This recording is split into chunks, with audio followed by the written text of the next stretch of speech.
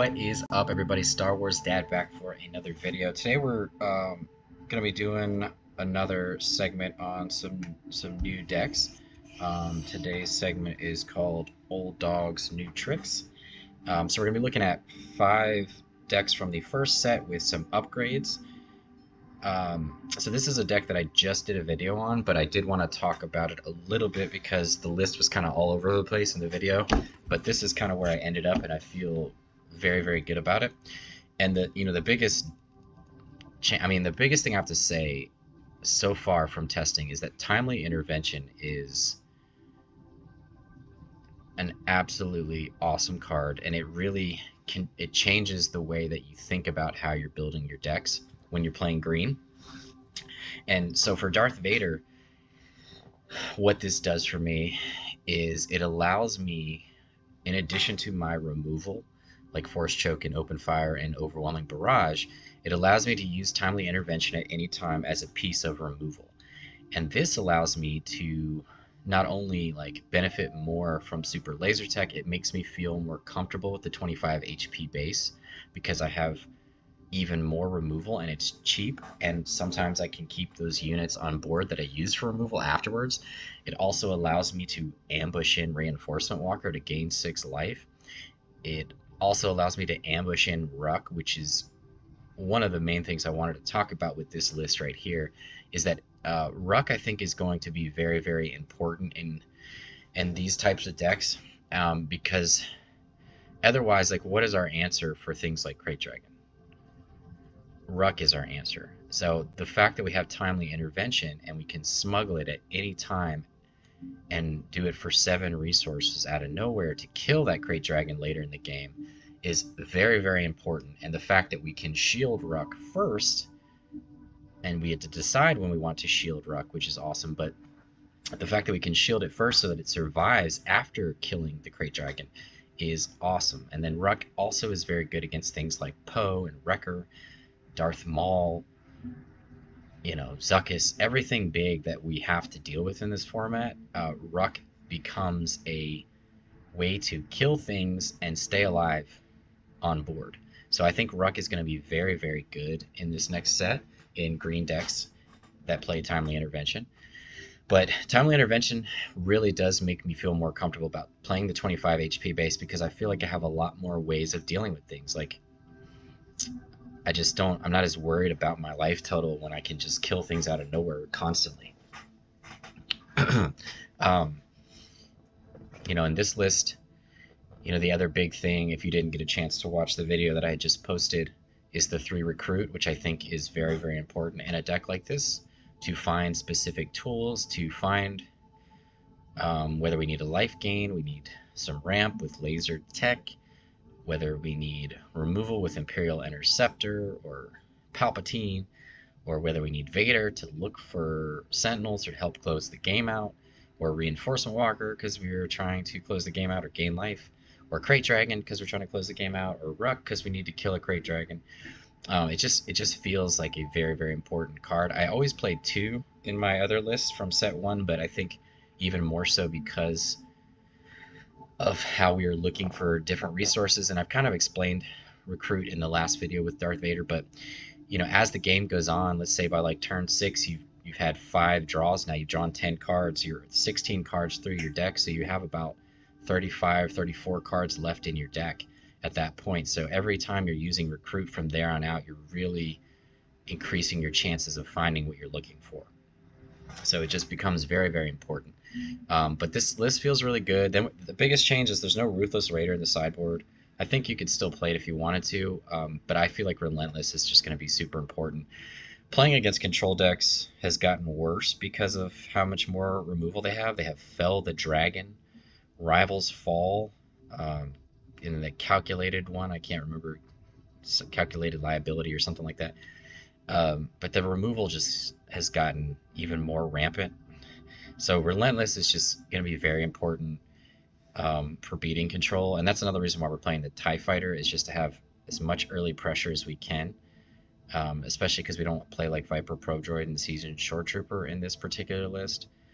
Um, I think considering another cheap unit and in the sideboard to bring in against control and like taking out like a you know pieces of removal like force choke or things like that that are not or open fire that are not going to be as effective against control or even price on your head is not going to be as effective like in bringing in like another cheap unit might be a good idea. I'm not even sure if you need the Yularen anymore for aggro because of timely intervention so that's something to play test more but I do think control matchup has gotten harder, but this is where I'm at with this list. It feels very, very good. Um, definitely give it a shot. Let me know what you guys think if you are a Darth Vader green player. Um, the next list, ooh, Palp Yellow. Okay, this one's sweet. Um, I tested this one out some today, and so the first things that I want to say about this list are, you know, we added in a couple price on your head for additional ramp. Um, the Salacious Crumb is really cool synergy because we can heal with it. It heals even more so with Yularen, so you get to heal two if you have a Yularen in play. Uh, and then just the synergy of like damaging units whenever we want, so we can kind of like snipe at any time in the game a unit that we want to steal with Palpatine. Um, and this also is playing the Timely Intervention Rukh. Again, that's for the Krayt Dragons and the big units that we might have to deal with. Change of Heart also does a very good job of that but it's just it kind of gives us different options. Like we don't want to just rely on change of heart. Also, change of heart's a little more expensive, so just being able to get a Rukh on board and use it as a unit to kill big threats is extremely important. Um, another big change was bringing in the Star Sunfighter as a, an early Sentinel to go with our late Sentinel of Devastator. Um, I kind of just sticking with Sentinels in space or using barrage and timely intervention to take things out. Um, no good to me deads to slow us down. Um, no consortium in this particular list again because of timely intervention. Um, we still have the three reinforcement walker to gain life, and since we play the additional piece of ramp, it helps us to get there quicker. A couple of phase dark trooper takes the place of cell block guard here, and I think that's about the biggest changes. I did put a couple of Darth Maul on the sideboard for matchups where we want to overwhelm our opponents versus try to find cheap units with Darth Vader. Or maybe even matchups where Devastator is not really needed, like super aggro. Um, this list feels very, very good against aggro. Again, we're gaining life with Yularen. We have Sentinels. We have Sentinels in space, Sentinels on the ground. We have Barrage. We you know, again, just timely intervention, man, it really does change the way that I look at a deck. Like, as I feel more confident about my ability to deal with threats. I don't feel like I just have to find barrage and I'll win this one, or I just have to find a sentinel. I feel like I have more options. And then obviously traders and Change of Heart are very, very good too. The additional ramp helps us to get there quicker. Um, and I just play two Change of Heart in the main, one on the side. Um, and again, I just wanted to find a place for Rukh to be in there regularly because I think Rukh is also relevant against decks that are playing like Poe into Wrecker and you know it just it gets down early it gets down on the same turn as Poe and that's important because if Poe gets down and we don't have an answer Poe can do eight damage to our face and that might just be too much so um, gotta gotta be able to deal with those things and there's an argument that you might even want the third Rukh. But I, I stuck with two just because we're playing the traders and the change of heart, and those are answers for aggro, as well as the sentinels that we have. Um, sneak attack is a lot of fun in this deck. This deck is very very good. Uh, if you haven't tried this deck out, it it does a very good job of annoying your opponent. And once you get to six resources with Change of Heart and Barrage and things like that, like you're you're pretty golden, and then you're you know you're going into Darth Vader reinforcement walker.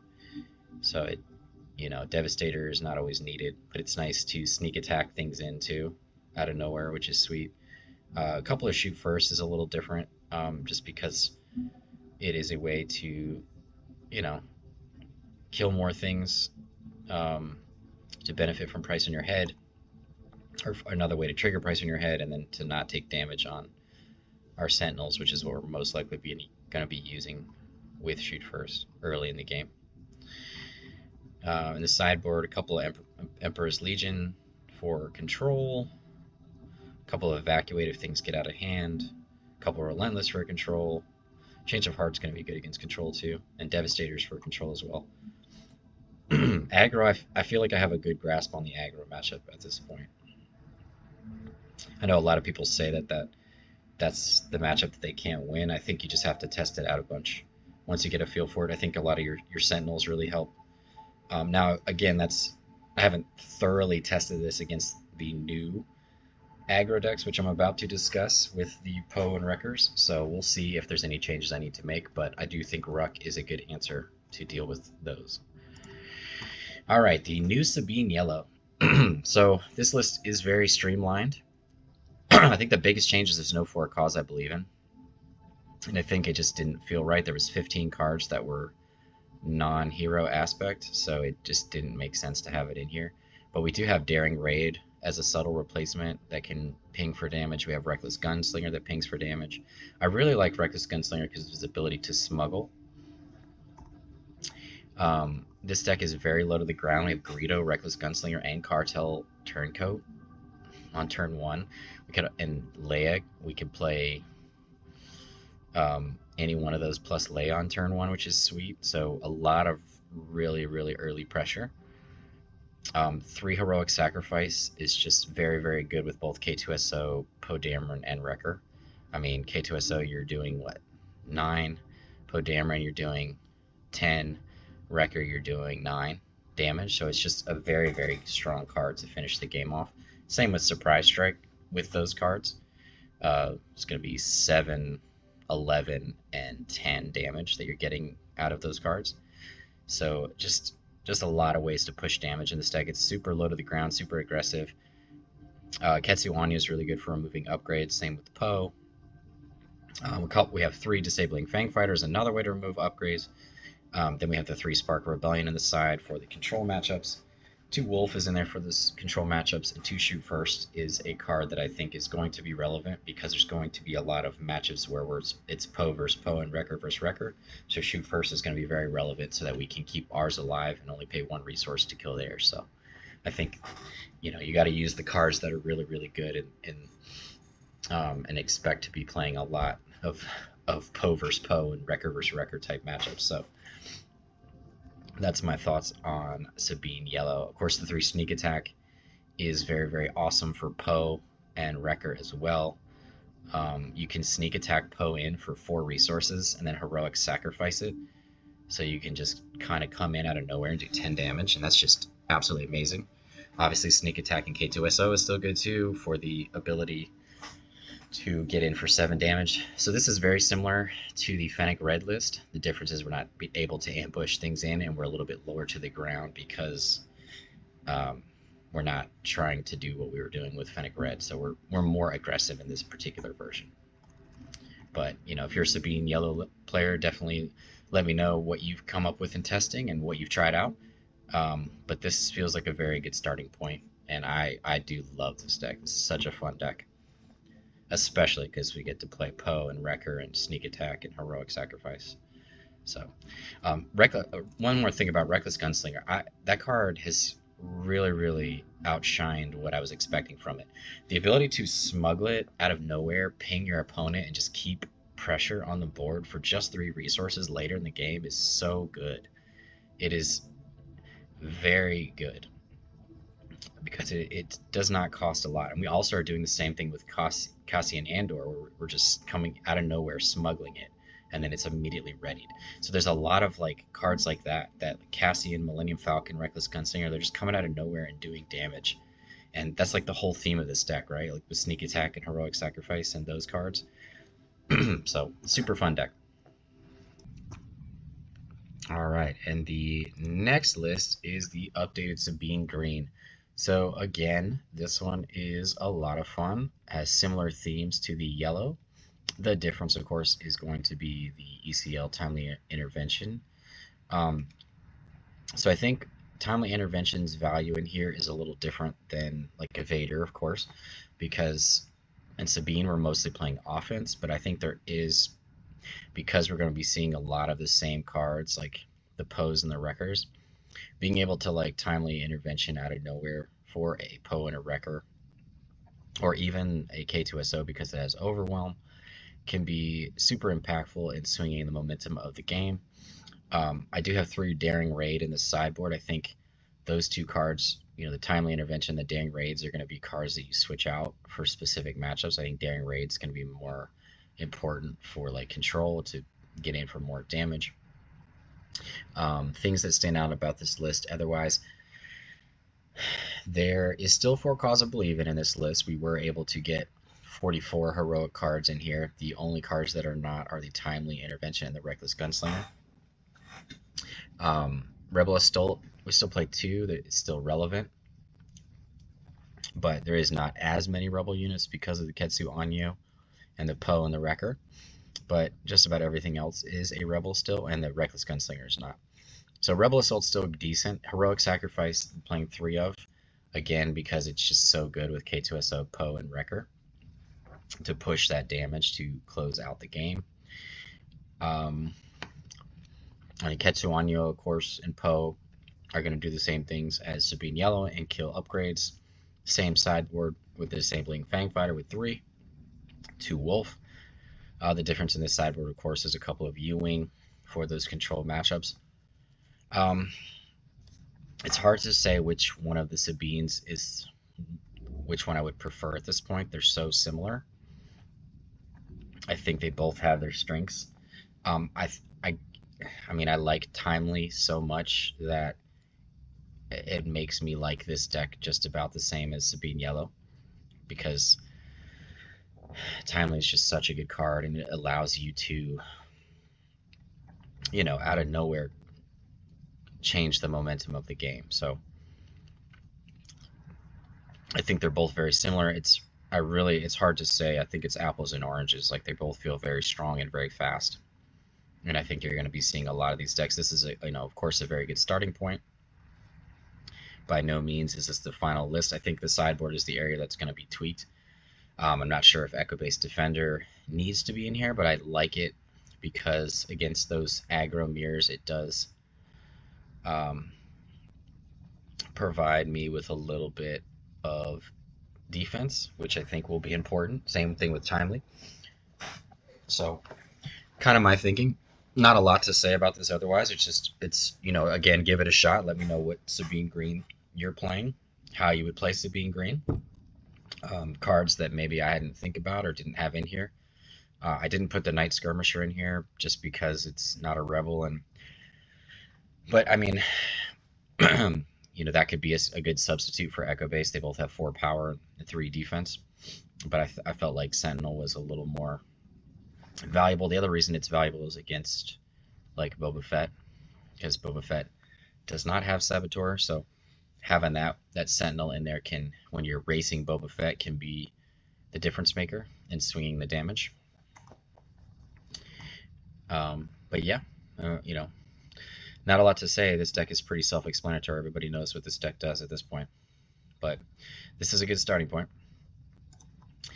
And the final deck, the updated Boba Green list. Um, so some things, some new tricks for this deck, I would say, again, Timely Intervention. Again, that just works so well with Boba Fett and its ability to pump up your resources. So, you know, just for one resource, you can Timely, and you can use that for anything in the deck, which just means you basically are ambushing in all the time in this deck um, because of Cloud Rider, uh, because of 4 LOM because of Zuckuss, because of Maul. You know, you already have so much ambush. I did take out Bossk for this particular version. I just felt like the 4 LOM Zuckuss combo was just better and just more powerful. And being able to ambush in a turn earlier with 4 LOM is just feels very, very good. And then to follow it up with Zuckuss. I did also take out Steadfast Battalion because Zuckuss is a 6-6 that I can ambush in at any time and I don't need my leader to be out and it becomes a 7-7 with 4 LOM. Now it doesn't have overwhelm like steadfast, so but I think I think it's worth it for the consistency that it provides of being stronger already as a 6-6. Um, you know, the other cool cards are the Maclunkey. Um, Maclunkey allows us to do some cool tricks. Um, we can play Greedo, play Maclunkey, and then play Greedo again on turn one which is really, really sweet. We can use Maclunkey to put a Fett's Firespray um, back into our hand and play it again after we've already attacked with it in one in a turn, so we can swing in for 10 damage.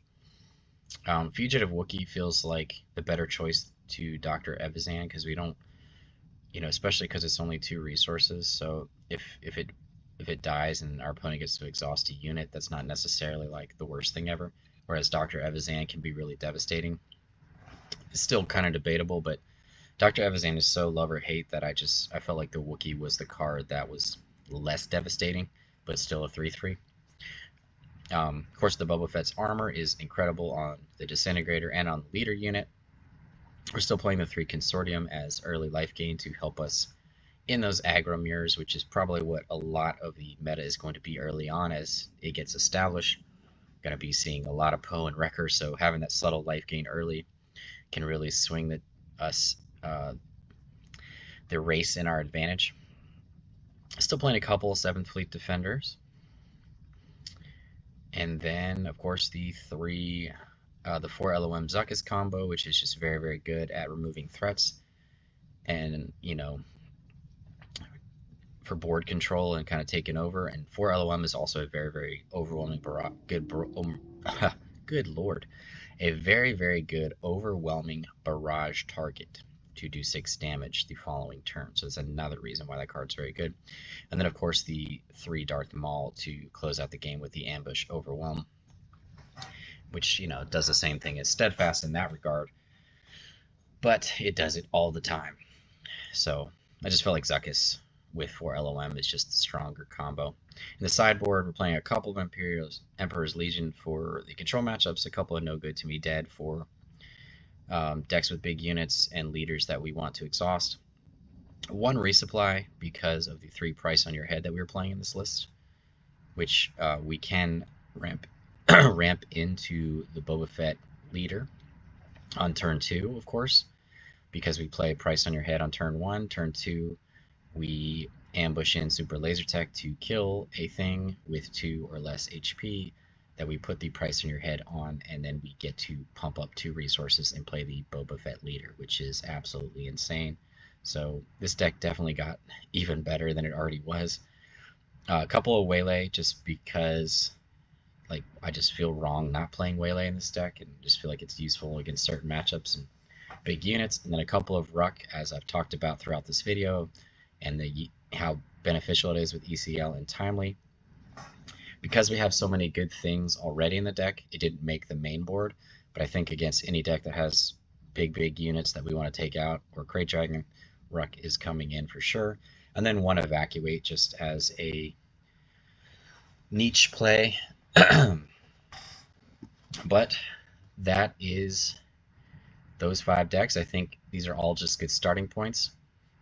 But I hope you guys enjoyed the video and let me know how you would play these decks or what your thoughts are or any cars that I might have missed as I was building these. But as always, y'all have a good one and